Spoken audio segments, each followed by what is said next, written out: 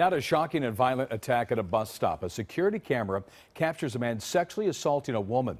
And KCAL 9 Orange County reporter Stacy Butler is now live in Santa Ana with who police are looking for at this hour. Stacy? Yeah, Jeff, police tell me that the attack happened at a busy bus stop just like this one behind me, about a half mile from South Coast Plaza. Tonight, police are releasing the security tape and the composite sketch. They're hoping that the public will help them catch a violent predator.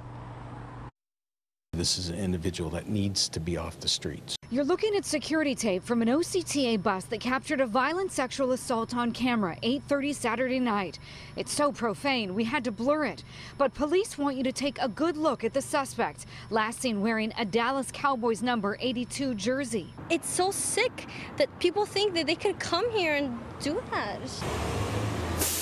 Tonight, women just hearing of the attack in the South Coast metro area of Santa Ana are terrified and angry that now they have to be on the lookout for a violent predator. Do you really just want to like live your life as even as a woman just walking and wondering, oh, maybe that guy next to me is gonna do something like this?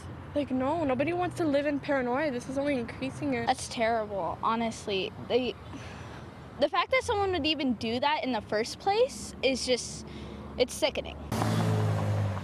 Police say the victim in her 50s didn't know the man. She was sitting on a covered bench waiting for the bus when the suspect attacked her and sexually assaulted her. He took off when the bus approached. Public has a right to know and a need to know this individual is violent, um, and we want to get him into custody. Police are looking to see if the suspect is possibly connected to other unsolved violent sexual assaults, like the teenage girl who was attacked as she sat on a Santa Ana park bench two months ago. People don't just start out by doing random violent acts. Um, so our fear is that this could happen again